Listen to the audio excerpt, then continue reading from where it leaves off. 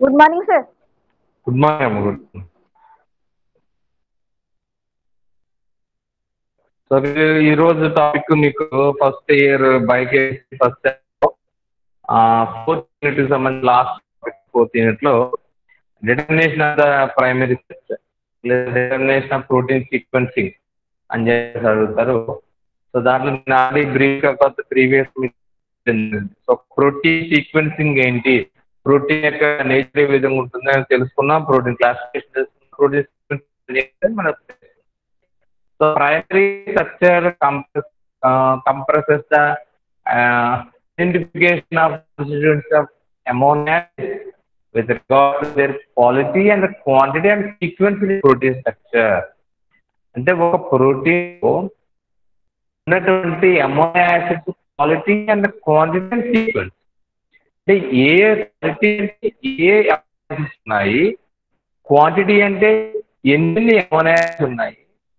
అంటే ఏ ఎమోనాస్ ఏ ఎమోనాస్ ఉంది? ఈ మూడు విషయాలు అంటే ఒక ప్రోటీన్లో ఒక హండ్రెడ్ ఎమోనాస్ ఉన్నాయి. ఈ హండ్రెడ్ అమోనియాసిడ్లో క్వాలిటీ అంటే ఏ అమోనియాసిడ్స్ ఉన్నాయి? థైరోసిస్ ఉందా పెనల్ ఉందా? అంటే ఏ అమోనియాసిడ్స్ ఉన్నాయి? ఎక్సెల్ అమోనియాసిడ్స్ దీంట్లో ఉన్నాయా? లేవా? సో టోటల్గా ఏమేమి అమోనియాసిడ్స్ ఉన్నాయని తెలుసుకోవడం that is quality. And quantity. ఉన్నటువంటి అమోనియాసిడ్స్ ఎంత మేరకు ఉన్నాయి? అంటే టూ మాలిక్యూల్స్ ఉన్నాయా? త్రీ మాలిక్యూల్స్ ఉన్నాయా? థైరోసిన్ ఒక త్రీ అమోనాసిస్ ఉన్నదా? సిక్స్టీన్ ఉన్నదా? ఎన్ని అమోనాసిస్ ఉన్నాయి? క్వాలిటీ క్వాంటిటీ క్వాంటిటీ తెలుసుకున్న తర్వాత సీక్వెన్స్ సీక్వెన్స్ అంటే ఏ అమోనాసిడ్ తర్వాత ఏ అమోనాసిడ్ ఉంది? థైరోసిన్ తర్వాత ట్రిప్టోఫాన్ ఉందా? ఎలిన్ ఉందా? ఎలనిన్ తర్వాత గ్లైసిన్ ఉందా? గ్లైసిన్ తర్వాత వ్యాలిన్ ఉందా? ఏ అమోనాసిడ్ తర్వాత ఏ అమోనాసిడ్ అరేంజ్ ఏంటి అనే విషయాన్ని మనం తెలుసుకోవడానికి మనం ప్రోటీన్ సీక్వెన్సింగ్ అనొచ్చు అయితే ఇక్కడ ఈ ప్రోటీన్ సీక్వెన్సింగ్ అనేటువంటి డిటర్మినేషన్ త్రీ స్టేజెస్ అనమాట ఒకటి determination amino acid composition that is quality composition మనకి ఏమున్నాయి ఉన్నాయి అనేటువంటి then degradation of protein and polypeptide uh, మనకి చిన్న ప్రోటీన్ కావచ్చు పాలిపెప్టైడ్ కావచ్చు ఏంటంటే స్మాలర్ ఫ్రాగ్మెంట్స్ క్లీవ్ చేయటం చిన్న చిన్న ఫ్రాగ్మెంట్స్ క్లీవ్ చేయాలి. మూడోది క్లీవ్ చేసిన దాంట్లో మొన్న త్రీ డేస్ ఫస్ట్ స్టేజ్ అంటే composition and second stage protein degradation of the protein into small fragment and third one determination first one చూద్దాము. Three stage first stage first stage మనకి determination amino acid composition protein ఒక protein amino acid composition అది ముందు వెనక పక్కన పెట్టేసేయండి. ఏ amino acids ఎన్ని ఉన్నాయని టోటల్గా దాంట్లో ఉన్నటువంటి ఏ అని తెలుసుకోవాలి. తెలుసుకోవడం కోసం ఏం చేస్తాము? A protein or a polypeptide is completely hydrolyzed to liberate the amino acids అంటే ఒక ప్రోటీన్లో ఉన్నటువంటి అమోనో అన్ని కూడా కంప్లీట్గా లిబరేట్ అయిపోయి అంటే కంప్లీట్ హైడ్రాలసిస్ అవ్వాలి. మొత్తం కంప్లీట్గా పెప్టైడ్ బాండ్స్ అన్ని కూడా బ్రేక్ అయిపోవాలి అప్పుడు ఇండివిజువల్ అమోనో యాసిడ్స్ అంటే వస్తాయి. అంటే ఫర్ ఎగ్జాంపుల్ ఒక ప్రోటీన్ హండ్రెడ్ అమోనాసిస్ తయారైంది అని మనకి ఎలా తెలుస్తుందంటే ఆ ప్రోటీన్ మనం కంప్లీట్ హైడ్రోడ్ తర్వాత ఒక హండ్రెడ్ అమోనాసిస్ మనం ఐడెంటిఫై చేస్తాం అంత టెక్నిక్ ద్వారా. సో ఆ టెక్నిక్ హండ్రెడ్ అమోనాసిస్ చేసామంటే ఓహో ఈ ప్రోటీన్ హండ్రెడ్ అమోనాసిస్ ఉన్నాయి అనే విషయం తెలుస్తుంది. ఏ అమోనాసిస్ ఉన్నాయి తర్వాత విషయం.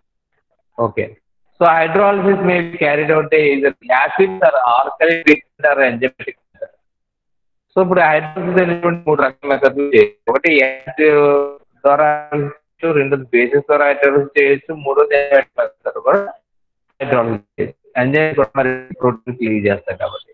సో ఇక్కడ ప్రొనైజ్ ప్రొనైజ్ ఒక ఎంజైమ్ ఉన్నది ప్రోటియోలైటిక్ ఎంజైమ్ ఆ ప్రోటియోలైటిక్ ఎంజైమ్ ద్వారా కంప్లీట్ హైడ్రోసిస్ చేయొచ్చు మనం అలాగే అడ్వైజ్ చేశారు. మనకి అమోనాసిస్ అన్ని ఇండివిజువల్ ఉంటాయి. ఇప్పుడు ఆ ఇండివిజువల్ ఉంటే అమోనాసిస్ మనం సెపరేషన్ చేయాలి. ఆ సెపరేషన్ చేయడం కోసం మీకు సెపరేషన్ టెక్నిక్స్ క్రోమటోగ్రఫీ టెక్నిక్స్ అని ఉంటాయి అనమాట మీరు ఆల్రెడీ బాట్ టెక్నాలజీలో క్రోమటోగ్రఫీ టెక్నిక్స్ మేడం చెప్తారు. ఆ క్రోమటోగ్రఫీ టెక్నిక్స్ క్యాపిటల్ క్రోమటోగ్రఫీ కానీ చిల్ క్రోమటోగ్రఫీ ద్వారా కానీ ఆ అమౌంట్ ఏమేమి అమౌంట్స్ ఉన్నాయనేది మనం చేసుకోవచ్చు సో ఫస్ట్ స్టెప్ మనకి ఆ విధంగా కంప్లీట్ అవుతుంది. ఏంటంటే సో ఒక ప్రోటీన్ తీసుకున్నాము ఆ ప్రోటీన్ని కంప్లీట్ ఐడెంటిఫై చేసినట్లయితే ఆ కంప్లీట్ ఐడెంటి అంటే ఫర్ యాక్షన్ ఒక ప్రోటీన్ తీసుకున్నాము యాక్సిడెంట్ ప్రోటీన్ కంప్లీట్ ఐడెంటిఫై చేయడానికి ఏం అంటే ఒక ఎంజైమ్ కానీ లేదా ఒక యాసిడ్ని ఒక బేస్గా ఉపయోగించే అది దాని కంప్లీట్ ఐడెంటిఫై అయిపోయింది కంప్లీట్ అంటే అది పోతుంది కొట్టనరీ స్ట్రక్చర్ పోతుంది తిరుగుతుంది అండ్ ప్రైమరీ స్ట్రక్చర్ పోతుంది. అన్ని స్ట్రక్చర్ లాస్ అయిపోయి దాంతో ఇండివిజువల్ అమోనాసిస్ మాత్రమే ఆ టెస్ట్ మిగిలే అటువంటి individual amino acids photography technique ద్వారా ఐడెంటిఫై చేస్తారు. సో ఐడెంటిఫై చేసినప్పుడు పేపర్ క్రోమోగ్రఫీ టెక్నిక్ ఉపయోగించవచ్చు తెలియని క్రోమోగ్రఫీ టెక్నిక్ ఉపయోగించవచ్చు జల ఉపయోగించవచ్చు వీటిలో ఉన్నటువంటి ఫిల్టర్ టెక్నిక్స్ ద్వారా ఆర్ఎఫ్ ద్వారా ఏ అమోనాసిస్ ఉన్నాయి ఏ అమోనాసిస్ ఉన్నాయి అన్న విషయాన్ని మనం ఫస్ట్ ఫేజ్ కనిపెట్టవచ్చు? అదే ఫస్ట్ స్టేజ్. సెకండ్ స్టేజ్ ఏం చేస్తుంటే అదే అదే ప్రోటీన్ని ఇంకో మాలిక్యూల్ ఇంకొక ప్రో అదే ప్రోటీన్ సెకండ్ ఏం చేస్తుంటే డెగ్రేడ్ మళ్ళీ అదే కాపీ మనం చేయలేం కదా ఆల్రెడీ అమోనాసిస్ కాపీ తీసుకుంటాం అనమాట అదే అమోనాసిస్ నాలుగైదు కాపీస్ పెట్టుకుంటాం మనం. ప్రోటీన్స్ అదే ప్రోటీన్ నాలుగైదు కాపీ పెట్టుకుని ఒక తీసుకున్నాం మనం డెగ్రేడ్ అమోనాసిస్ ఇప్పుడు సెకండ్ కాపీ మనం ఏం చేస్తాం అంటే స్మాల్ ఫ్రాగ్మెంట్స్ మనం క్లీన్ చేస్తాం.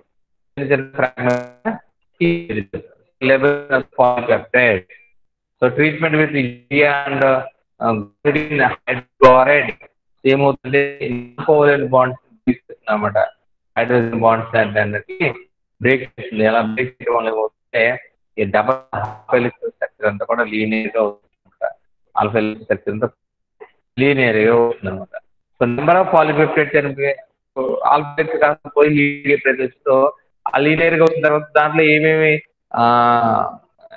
ఎన్ని పాలిపెప్టైడ్స్ ఉన్నాయని తెలుసుకోవడం కోసం ఏం చేస్తామంటే నెంబర్ ఆఫ్ పాలిపెప్టైడ్స్ కోసం ఏం చేస్తాం అక్కడ?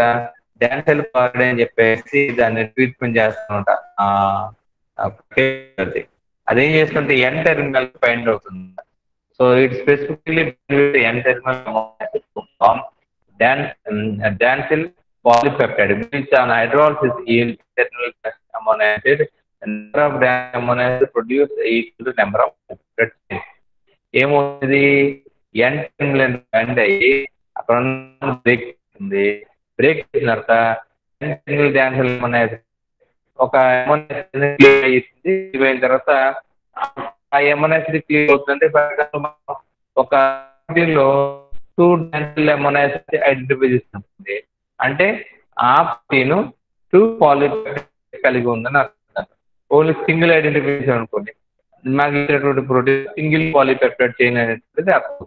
అలాగే ఐడెంటిఫై చేస్తే త్రీ పాలిపెప్టైడ్ చైన్స్ ఉన్నాయనే విషయం మనం క్లియర్గా తర్వాత పాలిపెప్టైడ్ చైన్స్ ప్రాక్టీస్ ఐడెంటిఫై చేసిన చిన్న ప్రాక్టీస్ ఎంజైమాటిక్ కానీ కెమికల్ క్లియర్ చేయడం జరుగుతుంది ఎంజైమెటిక్లో మనకి ట్రిప్స్ కైమోట్రిప్స్ పెప్సన్ ఎలా అంటే ఎంజైమ్స్ ఇవన్నీ కూడా మనకి బాండ్స్ని బ్రేక్ చేస్తాయి స్ట్రిక్ బాండ్స్ బ్రేక్ చేస్తాయి కొన్ని బ్రేక్ చేస్తారు ఈ డైడ్రోజన్ peptide containing lysine online on the side of peptide link అనమాట వీటి స్పెసిఫిక్ అలాగే సైనోజన్ బ్రోమైడ్ అని చెప్పి సిఎన్బిఆర్ అని చెప్తాం. ఈ సైనోజన్ బ్రోమైడ్ సైనోజన్ బ్రోమైడ్ ఈ కెమికల్ కెమికల్లో సైనోజన్ బ్రోమైడ్ ఇది కామన్లీ యూజ్ స్మాలర్ ఫ్రాగ్మెంట్స్ అని అన్నాం. సో ఇప్పుడు రెండో స్టెప్ ఏం చేసామంటే మనం degradation of polypeptides smaller fragments degrade చేయడం అంటే ఫస్ట్ మనం మనకి పాలిపెప్టైడ్ చైన్ మనం ట్రీట్మెంట్ చేసాము తోటి లేదా గ్వానడిన్ ట్రీట్మెంట్ చేసినప్పుడు దాంట్లో ఉన్నటువంటి పోయి ఫామ్ రెండవది ఏంటంటే ఎన్ని నెంబర్ పాలిపెప్టైడ్స్ ఉన్నాయని తెలుసుకోవడం కోసం డాన్సిల్ క్లోరైడ్ అనేటువంటి కెమికల్ ఉపయోగించడం వల్ల అది బైండ్ అయ్యి ఎన్ని dansyl chloride amino acids form అయ్యాయని నెంబర్ పెట్టి దాంట్లో ఉన్నటువంటి ఎమోనాసిడ్ ఐఎమ్ సారీ ఎన్ని ఎన్ టెర్మినల్స్ ఉన్నాయని తెలుస్తుంది అది number of N terminals equal to number of polypeptide chains అనమాట కాబట్టి number of amino acids equal to number of polypeptide chains number of N terminal amino acids equal to number of polypeptide chains so దాన్ని బట్టి ఎన్ని polypeptide chains ఉన్నాయో విషయం తెలుస్తుంది. వాటిని మళ్ళీ స్మాల్ ఫ్రాగ్మెంట్ చేస్తాము ద్వారానే కెమికల్ మెథడ్ ద్వారానే. ఇప్పుడు ఆ పాలిపెప్టైడ్ చైన్స్ ఉన్నటువంటి అమోనాసిస్ని ఐడెంటిఫై చేస్తాం. కోసం రెండు మెథడ్స్ ఫాలో అవుతాము అంటే స్టాంగర్స్ మెథడ్ ఏమో అడ్వాన్స్ మెథడ్ అని చెప్పి స్టాంగర్స్ మెథడ్ అడ్వాన్స్ మెథడ్ ఈ స్టాంగర్స్ మెథడ్ స్టాంగర్స్ రియేజెంట్ ఉపయోగిస్తాం. అడ్వాన్స్ మెథడ్ అడ్వాన్స్ రియేజెంట్ ఉపయోగిస్తాం. సో వీళ్ళిద్దరు సైంటిస్ట్ బేసిస్ పేర్లు పెట్టలేదు అనమాట.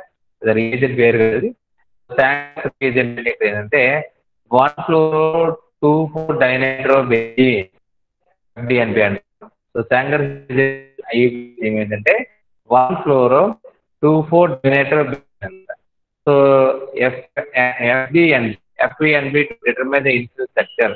So first insulin sequencing చేస్తారు మనకి. ఫస్ట్ ప్రోటీన్ సీక్వెన్స్ ఏంటంటే ఇన్సులిన్ గుర్తుపెట్టుకోండి. First insulin.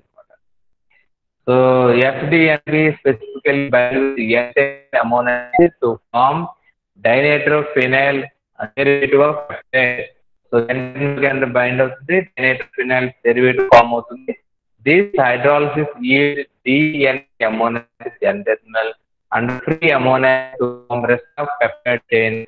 DNP ammonasis can be identified by the chromatography technique. చూడండి ఇక్కడ ఒక రియాక్షన్ చూపిస్తాను డిఎన్పి కన్సింగ్ వన్ సెకండ్ చూడండి. ఇది standard reagent one fluoro two four dinitro two four dinitro benzene కదా? ఇది గ్యాస్ రియేజెంట్ ఈ శాంగస్ రియేజెంట్ని అమోనా ప్రోటీన్స్ ప్రోటీన్స్కి అటాచ్ చేసినట్టు ప్రోటీన్లో ఉన్నటువంటి అమోనా తోటి ఇది బైండ్ అయింది చూడండి. అమోనా యాసిడ్ అనమాట బైండ్ అయినప్పుడు ఫ్రీ అమోనా యాసిడ్ లిబరేట్ అయిపోయింది. ఒక అమోనా లిబరేట్ అయిపోయి ఇంకొక అమోనా యాసిడ్ బైండ్ అయింది అనమాట ఇలాగ మళ్ళీ ఇది ఒక పాలిపేట్ చేయను ఒక ఇంకొక పాలి మళ్ళీ ఏమవుతుంది? ఇది ఇంకొక ఎంటర్మినల్ తోటి ఏమవుతుంటే ఫర్ ఎగ్జాంపుల్గా ఇంత చైన్ ఉందనుకోండి ఈ చైన్లో ఈ ఇక్కడ ఈ బైండ్ అయింది ఈ ఎంటర్నల్ ఒక అమోనాసిడ్తో బైండ్ అయ్యి క్లీవ్ అయిపోయింది. ఈ క్లీవ్ అయిపోయింది ఫ్రీ అమోనైజ్ లిబరేట్ అయిపోతుంది. మళ్ళీ మళ్ళీ అక్కడ ఉన్నటువంటి అమోనైజ్ మళ్ళీ అక్కడ మళ్ళీ ఇంకొక దాంతో బైండ్ అవుతుంది. అక్కడ అలా ఒక్కొక్క అమోనాసిడ్ నుంచి కట్ అవుతూ బయటకు వచ్చేది అలా బయటకు వచ్చేటువంటి అమోనాసిడ్ అన్ని ఒక్కొక్క అమోనాసిడ్ ఐడెంటిఫై చేసుకోవచ్చు క్రోమోగ్రఫీ ద్వారా అలా ఐడెంటిఫై చేసినప్పుడు one by one one by one first emergency identify చేసి థైరోసిడ్ సెకండ్ ఎమర్జెన్సీ ఐడెంటిఫై చేసిన phenylalanine third amino acid valine fourth emergency alanine ఇలా ఒక ఎమర్జెన్సీని ని చేసుకుంటూ వెళ్ళినప్పుడు సీక్వెన్సింగ్ వచ్చేస్తుంది అనమాట ఎంటర్నల్ టెర్మినల్ నుంచి సి టెర్మినల్ వరకు ఒక సీక్వెన్స్ ఒక ఆర్డర్ వచ్చేస్తుంది అనమాట అది స్టాండర్డ్ మెథడ్ అడ్వాన్స్ అంటారు దీన్ని అడ్వాన్స్ మెథడ్ ఏ విధంగా ఉంటుందని మనం చూద్దాం అక్కడ. సో అడ్వాన్స్ మెథడ్ చూసినట్లయితే advance phenyl isothiocyanate phenyl isothiocyanate అనేటువంటి ఇక అడ్వాన్స్ కెమికల్ అనమాట. So react with internal amount to form phenyl thio carbonyl derivative ఇది కూడా ఎంటర్నల్ బ్యాండ్ అయ్యి ఒక డెరివేటివ్ ఫామ్ చేసింది ఆ డెరివేటివ్ ఏమంటే ఎంటర్నల్ అమౌంట్ డెరివేటివ్ ఏంటంటే phenyl thio carbon carbamyl derivative and treatment of mild acid phenyl thio hydrogen amino acid so cyclic compound is liberated in the it can be identified from the cyclic compound form చూడండి reagent cyanide ఈ ఎటువంటి reagent proteins reagent అవుతుంది ఒక phenyl హైడ్రోనేటో ammonia form అయింది PTA కింద thio హైడ్రేటో ఉంది సో ఒక పీటీహెచ్ అమోనాసిడ్ ఫామ్ అయింది సో ఈ పీటీహెచ్ అమోనో యాసిడ్ని మనం క్రమటోగ్రఫీ టెక్నిక్ ద్వారా ఐడెంటిఫై చేస్తాము. ఇక్కడ సింగిల్ అక్కడ రిమైనింగ్ పాలిపెప్టైడ్ చైన్ ఇక్కడ ఉండిపోయింది. అంటే ఇక్కడ ఫర్ ఎగ్జాంపుల్ ఒక హండ్రెడ్ అమోనో యాసిడ్తో ఉన్నటువంటి ఒక ప్రోటీన్ని ఈ అడ్వాన్స్ ట్రీట్ చేస్తున్నాం అనుకోండి. ఒక అమోనో వచ్చింది ఇక్కడ పాలిపెప్టైడ్ నైన్ అమోనో ఉంటాయి ఈ అమోనాసిడ్ ఐడెంటిఫై చేస్తాము. ఐడెంటిఫై ఫర్ ఎగ్జాంపుల్ ఇక్కడ ఉన్నటువంటి అమోనో చూడండి ఇక్కడ ఉన్నటువంటి అమోనో ఏంటి చూడండి. ఆర్ వన్ తెలుగు గ్రూపు ఇది ఆల్ఫా కార్బన్ ఇది carbon R one plus PHC వేస్తుంది అనుకోండి వ్యాలిన్ అనమాట ఇది వ్యాలిన్ సో ఇది వ్యాలిన్ అనుకున్నట్లయితే లేదా లూజ్ అనుకున్నాము. రెండోది తొంభై తొమ్మిది ఉండిపోయింది కొత్తది ఎలాంటి ఫామ్ అవుతుంది. ఐడెంటిఫై చేసాము అది రెండు అమోనాసిడ్ ఐసోలూజ్ ఐసోల్యూషన్ ఉంది. మూడు అమోనాసిడ్ త్రీ నైన్ అనుకోండి ఇలా ఒక్కొక్క అమోనో ఇండివిజువల్గా ఐడెంటిఫై చేస్తాం. సో ఫస్ట్ ఐడెంటిఫై చేసిన దాన్ని ఒకదాన్ని రెండు మూడు ఇలా లైన్గా రాసుకుంటే అమోనో యాసిడ్ సీక్వెన్స్ అనేటువంటిది మనకి రావడం జరుగుతుంది. ఈ అడ్వాన్స్ అనేటువంటి క్రోమటోగ్రఫీ టెక్నిక్ ద్వారా మనం చేస్తూ చాలా టైం పట్టేటువంటి ప్రాసెస్ కొన్ని నెలలు సంవత్సరాలు కూడా టైం పడుతుందండి ప్రాసెస్ చేసి మనం ఐడెంటిఫై అయితే లేటెస్ట్గా మనకి ఈ అనలైజర్స్ అనమాట సీక్వెన్స్ సీక్వెంట్ ఆ సీక్వెంట్ అంటాం ఈ సీక్వెంట్ ఈ ఆటోమేటిక్గా మనకి ఒక థౌజండ్ రూపీస్ వరకు కూడా థౌజండ్ ఎంఎన్ఎస్ వరకు కూడా ఆటోమేటిక్గా వాటి సీక్వెన్సింగ్ చేసి మనకి రిజల్ట్ ప్రజెంట్ ఇప్పుడు ఆల్మోస్ట్ అన్ని ప్రోటీన్ సీక్వెన్స్ చేశారు అనుకోండి మన ప్రోటీన్ సీక్వెన్స్ కావాలనుకుంటే మనం మీరైతే ఎమోనో సీక్వెన్స్ కావాలనుకున్నది ప్రోటీన్ సీక్వెన్స్ కావాలనుకున్నారో అది మీరు చేసినట్లయితే మనకి ప్రోటీన్ సీక్ ప్రోటీన్ అని చెప్పేసి ఒక డేటాబేస్ ఉంటుంది. ఆ డేటాబేస్లో ప్రోటీన్ సీక్వెన్స్ కూడా అవైలబుల్గా ఓకే? ఇది ప్రోటీన్ సీక్వెన్స్ సో ఈ ఈ టాపిక్ మనకి ఈ సారీ ఫోర్త్ ఇయర్కి సంబంధించినటువంటి టాపిక్స్ అయినాయి అనమాట ఈ టాపిక్ ఇంపార్టెంట్ కాదు. మనకి యూనిట్లో ఫోర్త్ యూనిట్లో ఈ ప్రోటీన్ యొక్క structure important protein classification important ఈ రెండు తెలియదండి ఆ తర్వాత ఈ పెప్టైడ్ కూడా ప్రీవియస్ ఇన్ఫ్లుయెన్స్ యూనిట్లు కూడా కలిపి అడుగుతాడు దీని ఫైవ్ చదవండి. ఇది యూనిట్కి సంబంధించినటువంటి సో మీకు ఫోర్త్ యూనిట్ కంప్లీట్ అవ్వడం జరిగింది ఓకేనా? సో ఇది ఈ రోజు టాపిక్ సో మీకు ఏం చేస్తంటే ఈ రికార్డింగ్ మనం మాట్లాడుతాం